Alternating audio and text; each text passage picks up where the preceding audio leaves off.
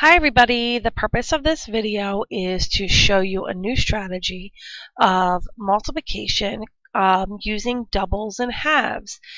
And this is one of our more advanced strategies, but you're going to use what you already know about multiplication to help you get this strategy down.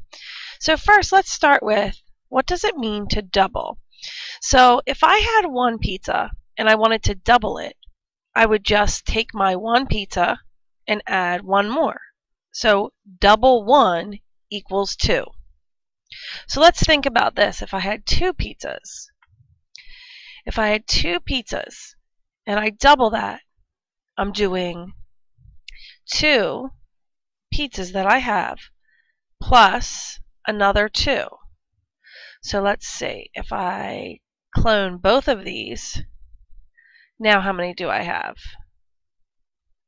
I've got four. So I've got 2 plus 2, and that equals 4. So 2 doubled is 4.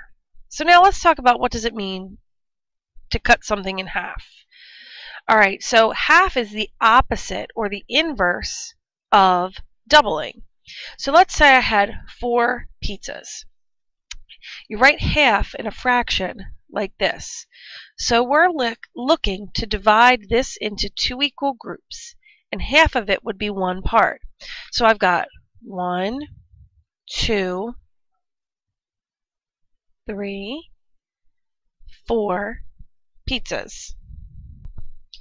So what I'm essentially do is it, doing is I'm taking my four pizzas, I'm dividing it in half, which means two equal parts. So I'm dividing it by two. So 4 divided by 2 would be I split this right down the middle, this would be one part, and this would be another part. So how many pizzas are in each section? 1, 2, 1, 2. So 4 divided by 2 equals 2. So half of 4 equals 2 pizzas. So now let's take this and let's apply this to multiplication. I've got two problems here. 12 times 8 and 24 times 4. Well, you should know 12 times 8 equals 96. But now if you look at the way these numbers are related, let's look at the 12 and the 24. If I double 12, I'm going to get 24 because 12 plus 12 equals 24. Now take a look at these next set of numbers.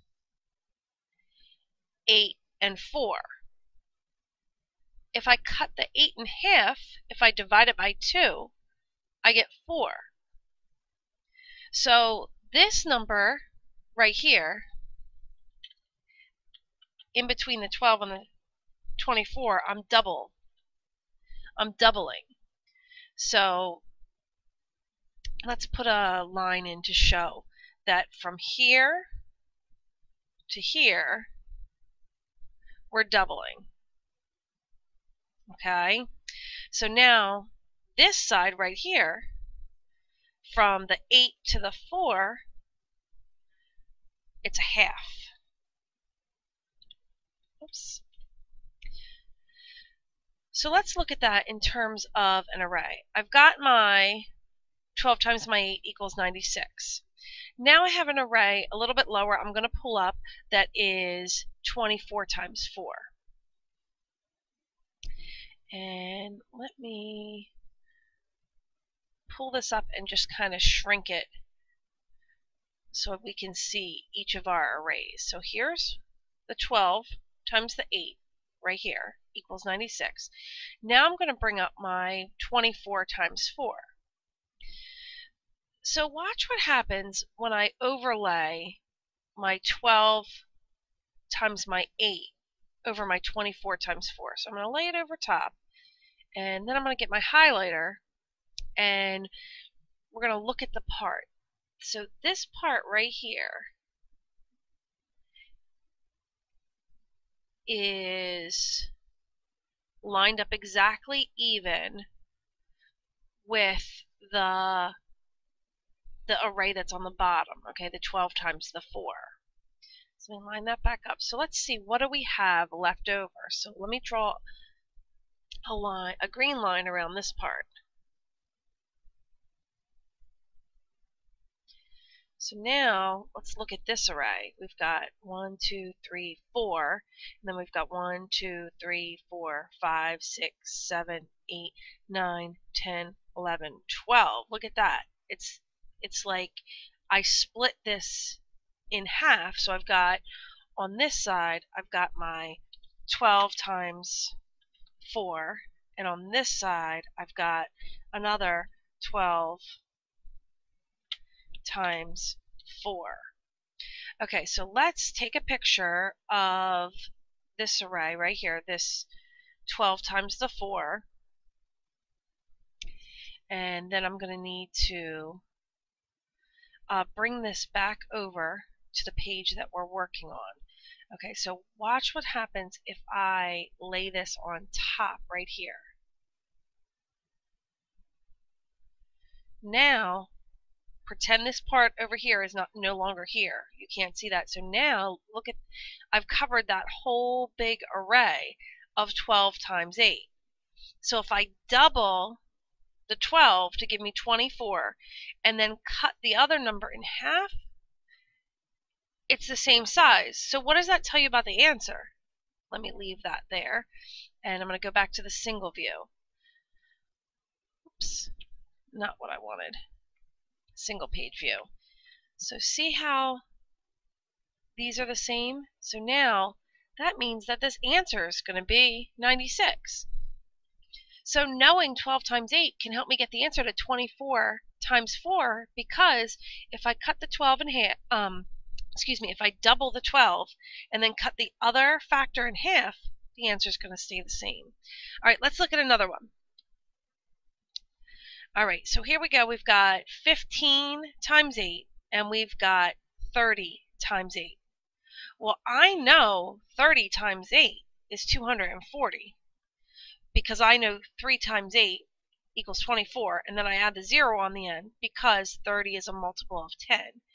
Um, so now, how can I use that to help me get the answer to 15 times 8? Well, let's look here. Let me move that down a little bit. Let's look. We've got the 8 is staying the same. So that factor is not changing. But the 15 and the 30, that factor is changing. How is it changing? If you said it is 15 is half of 30, you're correct. So half of 15 is 30. So that means that half of our answer is going to be the answer to 15 times 8. So let me prove it to you with an array. I'm going to group this, shrink it down a little bit, and I just want to label over here that um, this is from 15, 15 is half of 30, just so we keep that in mind. So that means that our answer, 240, is half, oh, excuse me, half of 240. Half of 240 is the answer to 15 times 8. All right. So let's look at an array here. I've got 30 times 8, and then I've got 15 times 8. So let me put my 15 times 8 over here. And I know that this one is 240. So let's pull this one over, and I'm going to clone it. Another 15 times 8 lays perfectly on top. So 15 times 8 plus 15 times 8 is the answer. So what's half of 240? Well, I'm going to look at the 24, and I'm going to figure out half of that because that's easy. Half of 24 equals 12. So I'm going to put my 12. And then I need to add a 0 because I'm working in the hundreds rather than the ones place. So my answer to 15 times 8 equals 120. All right, now it's your turn. Here are some practice problems I'd like you to solve on a piece of paper. Now remember, the purpose of these practice problems is to show how to use the strategy of doubles and halves to help you get your answer. Don't just write the answer. I want you to show me how you're doubling and how you're halving each of these numbers. And some numbers you might double, some numbers you might halve. It's for you to look for the pattern to decide. Go ahead and fill out your answers on the Google form. Thanks. Have a great night. Bye.